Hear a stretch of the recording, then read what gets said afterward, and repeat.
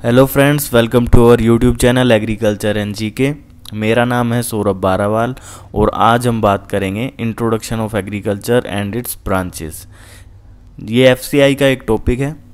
हमने कुछ दिनों से स्टार्ट कर दिया एफसीआई का सिलेबस कवर करना और हम अपनी तरफ़ से ये इंश्योर करेंगे कि एफसीआई का पूरा सिलेबस हम अपने एग्रीकल्चर एंड जी के चैनल पे पूरा का पूरा प्रोवाइड करें। तो आप लोगों को ज़्यादा परेशान होने की दिक्कत लेने की ज़रूरत नहीं है। आप बस एग्रीकल्चर एंड जी के चैनल से जुड़े रहें और पूरे सिलेबस को कवर होते देखिए।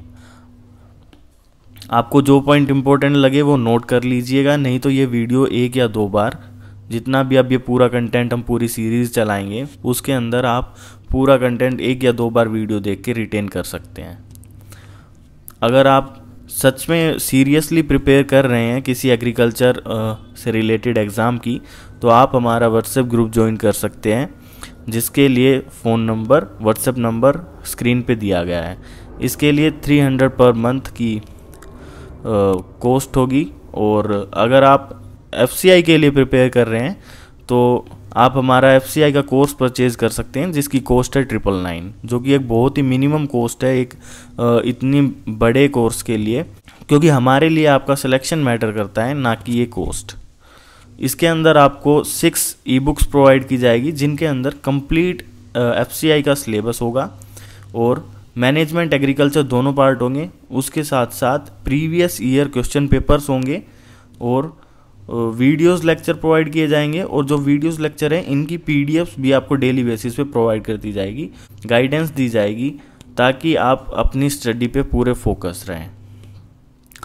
लास्ट टाइम जब एफसीआई ने अपना एग्ज़ाम कंडक्ट करवाया था, जब मिस्टर अश्वनी कुमार सेलेक्ट हुए थे एज आ ए और उन्होंने एग्रीकल्चर एंड जीके चैनल से गाइडेंस ली थी और हमारा कोर्स परचेज किया था और उन्होंने अपनी हार्ड वर्क और डेडिकेशन के साथ एफसीआई का एग्ज़ाम क्रैक किया है। तो अगर आप भी कोशिश करेंगे तो आप भी कर सकते हैं। चलिए अब शुरू करते हैं। तो introduction of agriculture first part है इंट्रोडक्शन और दूसरा पार्ट है इसकी ब्रांचेस अब इंट्रोडक्शन के लिए अब मैं आपको इस पूरे सेशन का एक ओवरलुक दे देता हूँ कि इंट्रोडक्शन में क्या होगा और ब्रांचेस में तो आपको पता ही है. इंट्रोडक्शन में हम क्या करेंगे कि एग्रीकल्चर का कुछ हिस्ट्री पढ़ेंगे जो मेजर पार्ट है और मेन पार्ट भी है मेजर मेजर हिस्ट्री पढ़ लेंगे और उसके साथ साथ इंट्रोडक्शन का मतलब ये होता है कि एग्रीकल्चर कहाँ से इंट्रोड्यूस हुआ है? एग्रीकल्चर कोई एक छोटी टर्म तो है नहीं, जो डिफरेंट क्रॉप्स हैं, या फिर जो डिफरेंट एस्पेक्ट्स हैं एग्रीकल्चर के, वो कहाँ से इंट्रोड्यूस हुए हैं? क्योंकि अपने वर्ल्ड में कहीं कहीं अफ्रीका से, कहीं मिडल एशिया से, ऐसे कर करके कहीं कहीं से चीज़ें इंट्रोड्यूस हुई हैं। तो वो सब हम देखेंगे, सिर्फ़ मेजर मेजर पार्ट कवर करेंगे एग्ज़ाम पॉइंट ऑफ़ व्यू से। और ब्रांचेज में जो अपनी कुछ सात ब्रांचेज हैं, उनके बारे में डिस्कस करेंगे और उनकी सब ब्रांचेज को देखेंगे।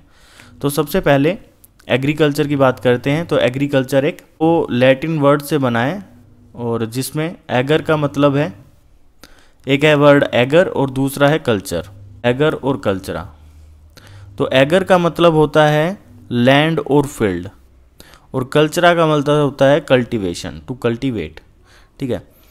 Therefore the term agriculture means cultivation of land land का कल्टीवेशन करना। अब ये एग्रीकल्चर के अंदर साइंस भी यूज़ होती है आर्ट्स भी यूज़ होती है और ये एक तरह से बिज़नेस भी है। साइंस कैसे यूज़ होती है?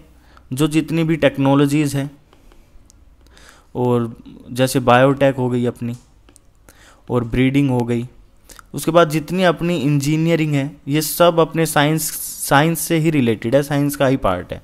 अब आर्ट कैसे हो गया? ये जितनी भी स्किलफुल काम होता है स्किलफुल काम होता है एग्रीकल्चर पूरा स्किल्स के ऊपर डिपेंड है कि फार्मर्स को पता होगा कि कितनी डेप्थ पे उसको प्लो करना है, कितनी हार्वे कितने टाइम पे हार्वेस्ट करनी है, कब हार्वेस्ट करना है। ये पूरा आर्ट के ऊपर डिपेंड है। इसके अंदर सिर्फ़ क्रॉप्स नहीं नहीं लाइफ स्टॉक वाला पार्ट भी कवर होता है। वो आगे देखेंगे ब्रांचेज में क्या क्या आता है। जैसे कि अब बता दिया कि ये आर्ट है साइंस है बिज़नेस है। अब ये बिज़नेस कैसे है कि लार्ज स्केल पे जब हम एग्रीकल्चर करते हैं, जो प्रोड्यूस आता है, हम उसको मार्केट्स में बेचते हैं और अपनी लाइफ लाइफ को चलाते हैं। अपनी जो इकोनॉमिक नीड होती है, वो कंप्लीट करते हैं एग्रीकल्चर से ही। उसके बाद है आर्ट कैसे? क्योंकि ये स्किलफुल है तो आर्ट हो गया। बिज़नेस कैसे? क्योंकि इसमें मार्केटिंग में हम मार्केटिंग करते हैं हम इसकी। और साइंस तो जैसे पता ही है इंजीनियरिंग ये सब। अब हिस्ट्री वाला पार्ट पढ़ते हैं। हिस्ट्री में क्या पार्ट है कि अब दो चीज़ें हैं यहाँ पे देखिए। एक है डॉग्स और एक है शीप और गोट ठीक है? अगर वो क्वेश्चन पूछते हैं कि फ़र्स्ट डोमेस्टिकेटेड एनिमल कौन सा था? तो वो आ जाएगा अपना डॉग। और वो टेन थाउज़ेंड मिलियन ईयर्स पहले वो रखना शुरू कर दिया था। अगर वो पूछते हैं कि ऐसा कौन सा एनिमल था जो एग्रीकल्चर में यूज़ किया जाता है या फिर अपने किसी प्रोडक्ट्स उससे लेने के लिए मतलब आप क्वेश्चन को समझना, उसके बाद आंसर देना, जिससे कि मतलब अगर वो कहें कि उससे हमें कुछ प्रोडक्ट मिल रहा हो या फिर इकोनॉमिक कंडीशन में सुधार आ रहा हो, कुछ ऐसा बोले, तब तो वहाँ पे आंसर होगा शीप या फिर गोट शीप आई थी सतासी सौ बीसी में डोमेस्टिकेट करना शुरू कर दिया था और ये इराक में हुआ था। ऐसे ही गोट को डोमेस्टिकेट करना शुरू कर दिया था सतहत्तर सौ बीसी में और वो इराक में स्टार्ट हुआ था। सबसे पहले, सबसे ओल्ड है अपना वीट और बारले जो कि मिडल ईस्ट से स्टार्ट हुआ था कल्टीवेशन होना पिचहत्तर सौ बीसी में। इससे पहले जो दस हज़ार बीसी था, तब तक तो हम हंटिंग ही करते थे। उसके बाद है चवालीस सौ बीसी। चवालीस सौ बीसी में मेज़ का कल्टीवेशन हुआ। मेज़ पता ही है, मैक्सिको के लिए फ़ेमस फ़ेमस है। उसके बाद पैंतीस सौ में potato was grown in South America पैंतीस सौ में पोटैटो। अब पोटैटो फिर से भी आएगा, ये साउथ अमेरिका के लिए सिर्फ़। उसके बाद है तीन हज़ार बीसी में क्या हुआ? ब्रोंज का हम यूज़ करने लग गए। जब ब्रोंज के टूल बनाने लग गए। उसके बाद क्या हुआ? उनतीस सौ बीसी में हमने प्लो को इन्वेंट किया और इरिगेशन फ़ार्मिंग स्टार्ट कर दी। तेईस सौ बीसी में देखिए, तेईस में क्या आता है? तीन आता है। तो तीन से हमें तीन चीज़ मिल गई है। क्या एक है चिकपी, एक है कॉटन और एक है मस्टर्ड। तो चिकपी, कॉटन और मस्टर्ड का कल्टीवेशन कब स्टार्ट हुआ? तेईस सौ में। अब देखिए, यह है बाईस। बाईस को हम क्या, बाईस से मिलता जुलता वर्ड है राइस। बाईस राइस। तो बाईस सौ बीसी में हमने कल्टीवेशन स्टार्ट किया था राइस का। पंद्रह सौ बीसी में पल्सिस का कल्टीवेशन शुरू हुआ ये अपने एमपी में। एमपी ही पल्सिस के लिए मेजर है। एमपी में ही मतलब मेजर मेजरली पल्सिस ही उगाई जाती है। और ब्लैक ग्राम और ग्रीन ग्राम ब्लैक ग्राम यही। उसके बाद पंद्रह सौ की बात करते हैं। पंद्रह सौ में cultivation of sugar cane barley sugar cane और बारले स्टार्ट हो गया था पंद्रह सौ में। उसी के साथ इरिगेशन फ़ार्मिंग स्टार्ट कर दी गई थी इंडिया में। और यही पंद्रह सौ में अपना पल्सिस भी थी, ठीक है? और 1500 सौ बीसी में ही शुगर केन और बारले स्टार्ट हो गया था इंडिया में। इरिगेशन फ़ार्मिंग इंडिया में स्टार्ट हुआ था 1500 सौ बीसी में। पर वैसे इंडिया को छोड़ के बाहर वर्ल्ड को देखे तो इरिगेशन फ़ार्मिंग स्टार्ट हो गया था उनतीस सौ बीसी में। उसके बाद 1000 से 1600 बीसी में आयरन प्लो का यूज़ करने जा किया जाने लग गया। 1400 बीसी में आयरन का आ, मतलब यूज़ होने लग गया था पर प्लो कब बढ़ने लगे? हज़ार से 1600 बीसी के बीच में। अब शुरू हो गई अपनी फिफ्टीन सेंचुरी। ठीक है? सेंचुरी क्या होता है? 2020 चल रहा है तो ये हमारी 21वीं सेंचुरी है। तो वैसे ये पंद्रह फिफ्टीन सेंचुरी है जिसमें फिफ्टीन हंड्रेड एडी बोलेंगे जिसको। Cultivation of sweet sour orange हो गया। वाइड ब्रिंजल हो गया पोमोग्रेनेट हो गया। तो इन सब का कल्टीवेशन हो गया अपना शुरू 15 एडी में 1500 एडी में। अब 1600 एडी की बात करें तो 1600 एडी में यहाँ पे मेजर पार्ट आता है। इसमें कुछ चीज़ें लिखी आ, कवर करनी रह गई वो मैं बताऊँगा। जैसे कि ग्राउंड नट हो गया रबर हो गया चिल्ली हो गया। आप देखिए तीन पी आ गए हैं पोटैटो पपाया और पाइनएप्पल ये याद रख रहा कि पोमोग्रेनेट था 1500 में। और पाइन है सोलह सौ में। तो पोटैटो पपाया और पाइन इसी के साथ यहाँ पे लिख देता हूँ मैं। टोबैको टोमेटो और टैपियोका ठीक है? ये तीन टी और तीन पी ये 1600 सौ एडी में, तीन और तीन छः सोलह सौ एडी इसके साथ साथ रबर हो गया चिल्ली हो गया ग्राउंडनट हो गया, ठीक है? ये भी 1600 सौ एडी में आते हैं। कल्टीवेशन शुरू हुआ था। अब जब हम इंट्रोडक्शन की बात करते हो इंट्रोडक्शन में सिर्फ़ ये नहीं है कि कौन सी क्रॉप कब इंट्रोड्यूस हुई थी। उसमें हम ये भी देखते हैं कि एग्रीकल्चर के जो डिफरेंट एस्पेक्ट्स है, वो कब इंट्रोड्यूस हुए थे। तो एक मेजर जो पार्ट मैंने कवर किया है, वो है वाटर स्टोरेज का। पानी का स्टोरेज संकलन जो भी बोलते हैं, और इसका डिस्ट्रीब्यूशन और मॉडर्न एग्रीकल्चर में कैसे शुरू हुआ। अब बात करते हैं कि अगर हम इरिगेशन फ़ार्मिंग करेंगे तो उसमें कंटिन्यूस सप्लाई की तो ज़रूरत होगी होगी, ठीक है? इसलिए कैनाल वगैरह की ज़रूरत पड़ी वेल पौंड लेक इन सब, ये बहुत एक इम्पोर्टेंट पार्ट निभाया इन्होंने एंशियंट पीरियड में, ठीक है? अब मैंने दो पीरियड कवर किए हैं जो मेजर हैं। अगर क्वेश्चन आएगा हिस्ट्री से तो वो इसी इन दोनों से आ जाएगा। नहीं तो बहुत कम लोग मतलब बहुत कम एग्ज़ाम ऐसे होते हैं जिसमें हिस्ट्री इतना डीप में पूछते हैं। तो पहला है वैदिक पीरियड जो कि 1500 बीसी से 1600 बीसी में का पीरियड है। उसमें people employed craftsman to dig channels अब ये जो 1500 से 1600 बीसी का टाइम था, इस टाइम पे लोगों को एम्प्लॉयमेंट दी गई थी कि कि वो चैनल्स डिग करें मतलब वो चैनल को डिग करें रिवर से उनके फ़ील्ड तक, ताकि वो फ़ील्ड में पानी दे सके। वेल इरिगेशन थ्रो अब देखिए कुच्चा और पुच्चा वेल्स कुच्चा और पुच्चा ये दो तरह के वो वेल उस टाइम पे डेवलप किए गए थे, ताकि हम पूरे साल अपना इरिगेट कर सकें इरिगेशन फ़ार्मिंग कर सकें। दूसरा है पांड्याज और चोलाल चेराज पीरियड ठीक है? नाम भी अब ये ऐसे अलग ही होते हैं। ये फ़र्स्ट सेंचुरी है 300 हंड्रेड में। इसमें irrigated rice cultivation started during this period इस टाइम पे इरीगेटेड राइस शुरू हुआ था, हमने किया था कल्टीवेशन करना शुरू किया था। डैम्स और टैंक्स वर कंस्ट्रक्टेड और इस पीरियड के अंदर डैम्स और टैंक कंस्ट्रक्ट करे गए थे। ठीक है? पूछ सकते हैं कि चैनल्स और रिवर्स कब बनाए गए थे, ये कुच्चा और पुच्चा कब बनाए गए थे तो वो वैदिक पीरियड में कवर हो जाएँगे। अगर ये कहें कि भाई डैम्स कब बनाने शुरू किए थे टैंक्स कब बनाने शुरू किए थे तो वो पांड्यास पीरियड में शुरू हो जाएँगे।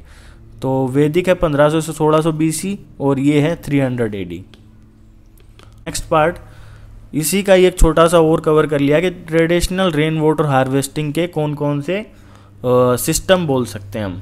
तो वो है टैंका तलाई, नाडा नाडी अलग अलग हैं। तालाब, खदिन, सार, सागर, समांड। ठीक है? तो ये बस एक बार गो थ्रू हो जाओ इनसे, कि वो पूछ सकते हैं कि इनमें से कौन सा रेन वाटर हार्वेस्टिंग का एक ट्रेडिशनल तरीका नहीं है। या फिर कुछ अलग अलग नाम दे देंगे और इनमें से एक लिख देंगे, दो लिख देंगे कि इनमें से कौन सा ट्रेडिशनल रेन वाटर हार्वेस्टिंग का एक सिस्टम है, तरीका है। ठीक है? एक बैम्बू मेथड भी है, वो बहुत ही मतलब एक टिपिकल मेथड है bamboo method of water harvesting तो कवर नहीं करेंगे, बस नाम काफ़ी है। अब उसके बाद मैंने कहा था कि क्रॉप्स का इंट्रोडक्शन का मतलब ये होता है कि कहाँ से वो इंट्रोड्यूस हुई, कहाँ से वो आई है। कहीं, कोई अफ्रीका से आई है, कोई मैक्सिको से आई है, कोई मिडल ईस्ट से आई है तो पहले देखते हैं ये पोर्टग्यूज से कौन सी आई है। दो मेजर जहाँ से ज़्यादा आई है, वो मैंने कवर की है। पोर्टग्यूज से कौन सी आई है? जो सूडो सीरियल्स हैं। सूडो सीरियल्स कौन सा? अमरेंथस कुडाटुस। अमरेंथ बोलते हैं, ठीक है? ये एक सूडो सीरियल है और पोर्टग्यूज से आया है। ऑयल सीड में अरेकिस हाइपोजिया, जो अपना ग्राउंड नट है। अच्छा क्वेश्चन बन सकता है कि ग्राउंड नट कहाँ से इंट्रोड्यूस हुआ है? तो वो पोर्टग्यूज से इंट्रोड्यूस हुआ है। वेजिटेबल में जो कुकुरबिट्स है ना पम्पकिन हो गया और या फिर हम अगर बात करें स्वीट पोम या बटाटा, स्वीट पोटैटो की या फिर पोटैटो की, सोलेनम ट्यूब्रोसम, ये पोर्टग्यूज से इंट्रोड्यूस हुए हैं। अगर हम फ्रूट्स की बात करें तो अपना कैशू नट, एनाकार्डियम, ओसीडेंटेल और एनोनस क्वामोसा मतलब कस्टर्ड एप्पल, पसीडियम गुआजावा तो गवावा। तो कैश्यू नट, कस्टर्ड एप्पल और गवावा, ये तीन अपने पोर्टग्यूज से इंट्रोड्यूस हुए हैं। नारोको ना, नारकोटिक्स जो होते हैं नारकोटिक्स वो उन उनमें टोबैको पोर्टग्यूज से इंट्रोड्यूस हुआ है। अगर हम स्पाइसेस और कॉन्डिमेंट्स की बात करें तो कैप्सिकम एनम मतलब अपनी चिल्ली चिल्ली पोर्टग्यूज से इंट्रोड्यूस हुई है। उसके बाद है ब्रिटिशर्स ने कौन सी क्रॉप्स इंट्रोड्यूस करवाई है? ये देखिए वेजिटेबल ज़्यादा इंट्रोड्यूस करवाई ब्रिटिशर्स ने। तो अगर सूडो सीरियल्स की सीरियल्स की बात करें तो अपना ओट्स एवीना सेटिवा उसके बाद ग्रेन लेग्यूम्स की बात करें तो कैस्टेनोस्पर्मम ऑस्ट्रेले मतलब ब्लैक बीन पाइसम सेटिवम मतलब पी फाइबर क्रॉप्स तो अपना कॉटन ठीक है? पिछले में आया था ग्राउंड नट जो इम्पोर्टेंट था, यहाँ पे फाइबर क्रॉप में कॉटन जो इम्पोर्टेंट है। वेजिटेबल में क्या आ जाएगा? लीक आ जाएगा, सतावर आ जाएगा बीट रूट आ जाएगा कोलीफ्लोर आ जाएगा सेलरी आ जाएगा स्क्वैश आ जाएगा चिकोरी आ जाएगा sweet pepper carrot orange type वाला लेट्यूस टोमेटो स्वीट पी ये सब आ जाएँगे ब्रिटिशर्स के द्वारा इंट्रोड्यूस हुई। अब हम बात करते हैं इसकी ब्रांचेस की। ब्रांचेस में पहला आता है एग्रोनॉमी उसके बाद आता है हॉर्टिकल्चर, उसके बाद आता है फॉरेस्ट्री, उसके बाद आता है एनिमल हस्बेंड्री, उसके बाद है फिशरी साइंस, उसके बाद आता है एग्रीकल्चर इंजीनियरिंग और आता है होम साइंस। एग्रोनॉमी की बात करें, एग्रोनॉमी में हम क्या पढ़ते हैं? एग्रोनॉमी में हम पढ़ते हैं उसकी फ़िज़िकल, फिजियोलॉजिकल और केमिकल, ये सब पढ़ लेते हैं हम उसकी। प्लांट्स की फ़िज़िकल, फिजियोलॉजिकल, केमिकल ये सब कंडीशन पढ़ लेते हैं और इनके साथ पढ़ते हैं जो हमारा इन्वायरमेंट है, जो सराउंडिंग है, जो सॉइल्स है, अपना एटमोसफेयर है, इन सब का प्लांट के ऊपर क्या इफ़ेक्ट पड़ता है, कैसा एटमोसफेयर होगी तो कैसी ग्रोथ होगी मतलब इनके इंट्रैक्शन के बारे में पढ़ते हैं एक तरह से, ठीक है? इसी के अंदर अपनी सोइल माइक्रोबायोलॉजी एग्रीकल्चर माइक्रोबायोलॉजी ये सब इसी के अंदर कवर होता है। हॉर्टिकल्चर का आपको पता ही है हॉर्टिकल्चर्स को मैंने आगे थोड़ा सा डिटेल में किया है। फॉरेस्ट्री में जितने भी ट्रीज़ हैं कल्टीवेशन के लिए आर्बोरिकल्चर बोल सकते हैं, जैसे जो वुड के लिए होता है। उसके बाद है एनिमल हस्बेंड्री में पता है जो काओ बफेलो और ये बफलो उसके साथ गोट शीप्स इन सब के बारे में एनिमल हस्बेंड्री और फिशरीज़ के बारे में तो आपको पता ही है फिशरीज़ में फ़िश कवर हो जाएगी। इंजीनियरिंग में बी टेक वालों को ज़्यादा पता होगा। एग्रीकल्चर इंजीनियरिंग में इंजीनियरिंग का जो टूल्स बनते हैं, ये सब इसके अंदर कवर हो जाएँगे। जो ट्रैक्टर्स हैं, जो उनकी मोटर्स हैं जो हार्वेस्टिंग सिस्टम है और हार्वेस्टिंग इक्विपमेंट है, ये सब एग्रीकल्चर इंजीनियरिंग में कवर हो जाएँगे कि वो किस तरह से और कैसे हेल्प करते हैं। होम साइंस के अंदर होम साइंस ये एक जनरल पार्ट हो गया जिसके अंदर जनरल लाइफ के बारे में हो।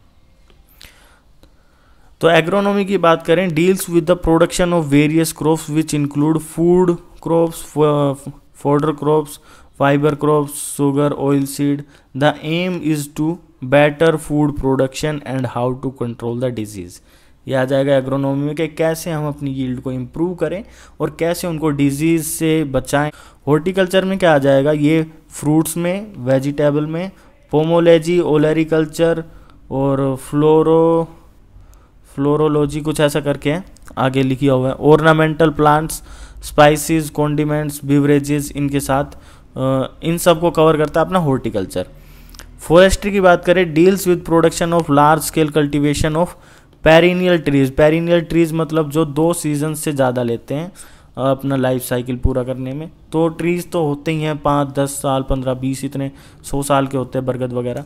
तो ये पेरिनियल ट्रीज आ जाते हैं। For supplying wood timber rubber and also raw material for industries rubber कब पढ़ा है हमने थोड़े टाइम पहले? रबर पढ़ा है सोलह सौ में आया था ये।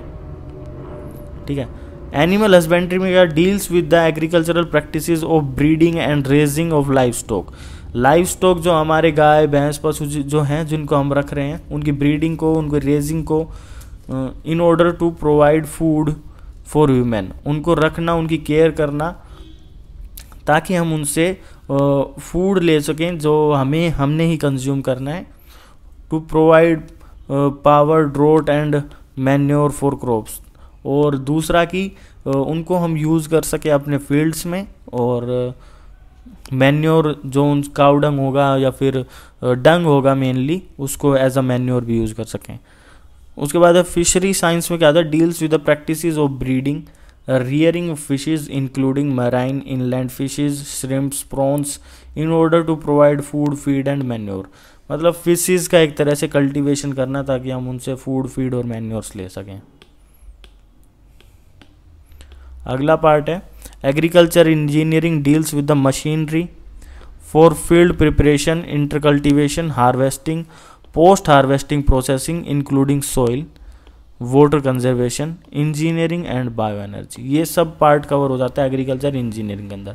होम साइंस के अंदर application utilisation of agricultural produce in better manner in order to provide nutritional security including value addition and food preparation home science के अंदर जो जनरल लाइफ मतलब जनरल चीज़ें हो जाएँगी ना, एक अपने हार्वेस्टिंग प्रोडक्शन से निकलने के बाद की बात। है जैसे कि उनको, उनसे फ़ूड प्रिपेयर करना, उनकी वैल्यू एडिशन करना, ठीक है?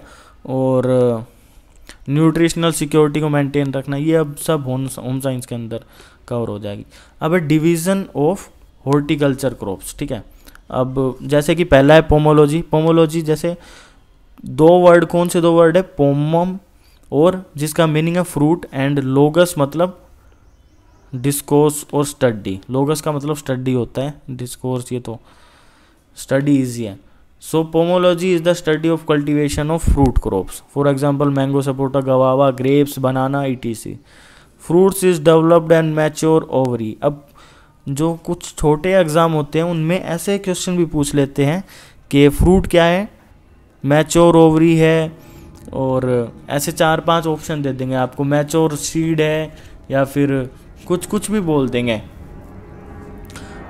विद और without accessory parts and which is generally eaten as raw ठीक है फ्रूट्स वो होते हैं जो कि रो कंज्यूम किए जाते हैं और बिना प्रोसेसिंग के मतलब एक तरह से फ्रूट्स फिर नहीं तो फिर वो फ्रूट जूस हो जाएगा अगर हम उसका, कुछ उसके साथ प्रोसेसिंग करेंगे। और ये क्या होता है, इसको ये मैचोर्ड ओवरी होता है तो ये याद रखें एम ओ मैचोर्ड ओवरी उसके बाद है ओलेरी कल्चर क्या आता है कल्टी ओलेरी का मतलब है पोर्ट हब्स और कल्चरा का मतलब होता है कल्टीवेशन आज, आजकल ओलेरी कल्चर को तो मेनली कल्टीवेशन ऑफ़ वेजिटेबल के लिए ही यूज़ किया जाता है। उसके बाद है फ्लोरिकल्चर फ्लोरिकल्चर में क्या होता है, सिर्फ़ फ्लोर फ्लावर ऑर्नामेंटल ये सब इन सबको इंक्लूड किया जाता है। Horticulture which deals with the commercial growing marketing arranging flowers ornamental plants which includes annuals biennials perennials tree shrubs climber herbaceous perennials ठीक है? तो ये सब फ्लोरिकल्चर के अंदर कवर हो जाता है। फ्लावर्स हो गए ऑर्नामेंटल प्लांट्स हो गए, ठीक है? चाहे वो एनुअल हो, चाहे वो बाइनल हो, चाहे वो पेरिनियल हो। ट्री हो शर्ब्स हो क्लाइंबर हो, या फिर हर्बेशियस पेरिनियल्स हो। लैंडस्केपिंग में क्या होता है? लैंडस्केपिंग एक तरह से हम फ्लोरिकल्चर से रिलेटेड फ़ील्ड है ये जिसमें हम अपने लैंड को सजाने के लिए अपनी जगह को अपने स्पेस को चाहे वो इंडोर हो चाहे आउटडोर हो नेचुरल ब्यूटी प्लांट्स के साथ सजाने के लिए उसी को आ, मतलब ये जो एक्टिविटी है इसी को हम लैंडस्केपिंग बोलते हैं। इस design and alternation of a portion of land by use of planting material and land reconstruction ठीक है? जो चाहे वो इंडोर हो चाहे इंडोर आउटडोर हो हम अगर नेचुरल ब्यूटी के साथ उसको मतलब जो प्लांट्स वगैरह हैं हर्ब शर्ब्स इनके साथ आ, सजाते हैं तो उसको लैंडस्केपिंग बोल देते हैं। जिसका यूज़ मेनली गार्डनिंग के गार्डन्स में होता है फॉर्मल इनफॉर्मल गार्डन दो टाइप के होते हैं उनमें कभी बाद में डिस्कस करेंगे। चाहे हम घर के अंदर जैसे अपना पोर्ट्स वगैरह लगाते हैं, थोड़ा सा सजाने के लिए एंट्री लगाते हैं हैजिस लगाते हैं पाम ट्रीज़ लगाते हैं, वो सब अपना लैंडस्केपिंग में कवर हो जाता है। पोस्ट हार्वेस्ट टेक्नोलॉजी क्या होगा?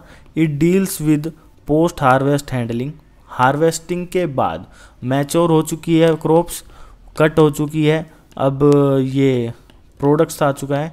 इसके बाद हम उसको हैंडलिंग कैसे करेंगे? ग्रेडिंग करेंगे पैकेजिंग करेंगे स्टोरेज करेंगे प्रोसेसिंग करेंगे वैल्यू एडिशन करेंगे मार्केटिंग करेंगे। तो ये सारी चीज़ें पोस्ट हार्वेस्ट टेक्नोलॉजी में आ जाएगी, ठीक है? अब पोस्ट हार्वेस्ट का मतलब जो भी हार्वेस्टिंग के बाद जो भी प्रोसेस हो रहा है, सब का सब पोस्ट हार्वेस्ट है। इसी के साथ अपना ये छोटा सा लेक्चर ख़त्म होता है। इसमें मैंने दो टॉपिक्स कवर किए हैं अपने एफसीआई के एग्ज़ाम्स के सिलेबस से और कल इससे नेक्स्ट दो टॉपिक कवर कर दूँगा। और ऐसे ही नॉर्मल छोटी वीडियोस मतलब एग्रीकल्चर एंड जीके की जो टीम है, ये पूरा सिलेबस कवर करने की कोशिश करेगी। ऐसे ही छोटी छोटी वीडियोस के साथ, जिससे ज़्यादा बर्डन भी ना पड़े एक साथ। और उम्मीद करता हूँ आपको ये छोटी सी, हल्की सी सिंपल सी वीडियो पसंद आई होगी। और आप एग्रीकल्चर एंड जी के चैनल से जुड़े रहें। आपको यहाँ पे पूरा का पूरा सिलेबस कवर कराया जाएगा। अगर वीडियो अच्छी लगी है तो लाइक करें, अपने फ्रेंड्स के साथ शेयर करें और हमारे एग्रीकल्चर एंड जी के चैनल को सब्सक्राइब करें। अगर आप एग्ज़ाम्स की प्रिपरेशन कर रहे हैं तो आप इससे जुड़े रहें। अगर आपको स्पेशल गाइडेंस चाहिए तो आप हमारे एग्रीकल्चर एंड जी के चैनल के व्हाट्सएप ग्रुप से जुड़ सकते हैं, जिसके लिए नंबर स्क्रीन पे दिए हैं।